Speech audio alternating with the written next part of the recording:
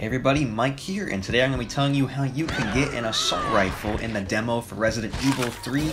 It's pretty simple. All you have to do is die.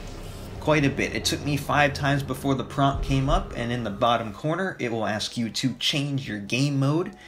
So you're going to want to go ahead and do that, and you're going to switch to the assisted game mode, and it will give you an assault rifle for free. And that is how you do it. And now just sit back, relax, and watch some gameplay.